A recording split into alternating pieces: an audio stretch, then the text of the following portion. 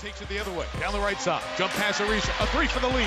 It's good. Back to Odom. Reverse layup is good. The Lakers are destroying the Magic confidence. The Lakers are NBA champions once again. LA wins the 2009 NBA title. He established himself. As you see the locker room, the celebration beginning. Uh, winning the championship early with Shaquille O'Neal. He said it wasn't a big deal, but this was his team, and he led them to a title. Well, he did, and I think when you talk about the Lakers' greatness, it takes a, a balanced team, and they got that with Pau Gasol. I, I think this every championship you win elevates your greatness, but I didn't think he needed this championship to be considered one of the all-time greats. And you could say the same thing for Phil Jackson in terms of it. Um, I mean, he's one of the great coaches of all time. This gives him number 10. And there's always talk about, well, he's had the best player. He's had Michael Jordan, and he's had Kobe Bryant. But it's more than just that. The Lakers wrap up their 15th NBA title, beating the Magic four games to one. Kobe Bryant, 10 of 23 from the field, 30 points, six boards, five assists, named Finals MVP. He's with Mark Jones. All right, with Kobe Bryant of the Los Angeles Lakers with his fourth NBA title and your first Kobe Finals MVP. How, how is this one different from the previous three? You know, it's, it's tough to say it's a little sweeter, but it, it, it kind of is. You know, because we had such a young crew, and last year in the finals, you know, we learned so much, and then to have a goal in mind to come back this season and to accomplish that goal, and with this group is is uh, it's just extremely special.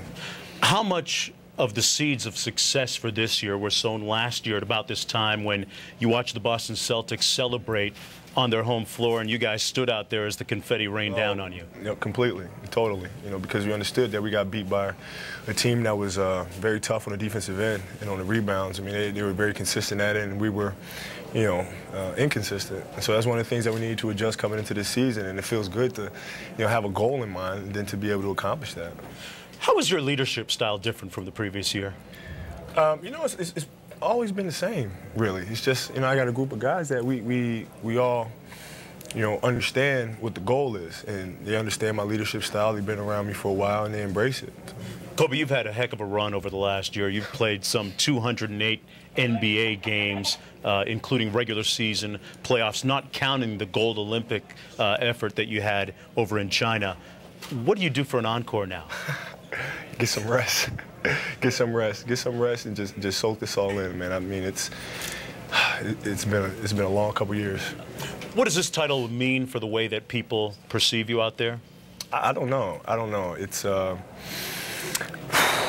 you know, a lot of people say the first championship without Shaq and all that sort of stuff, and to me, that's always been you know, something that didn't make any sense.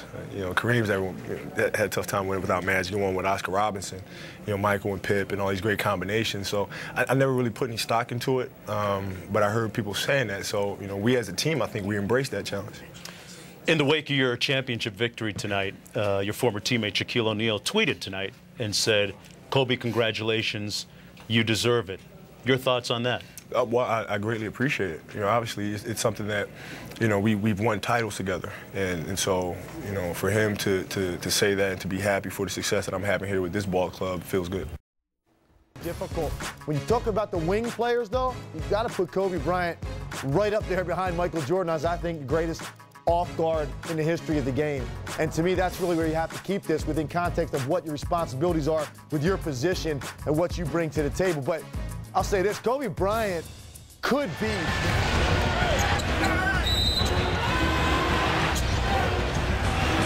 The Lakers move on to the second round.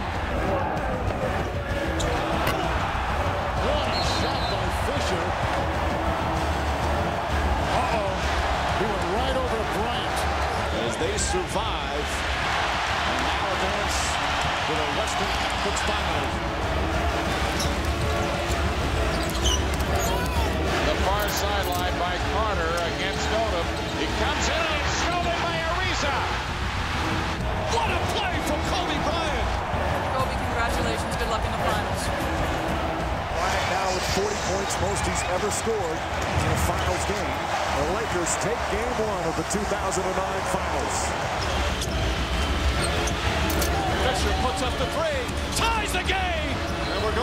Overtime for the second time of these finals. Derek Fisher with another clutch three. the Lakers are going to take the 3-1 lead in this series. Nice reverse play. Lamar Odom, Kobe Bryant, and the finish.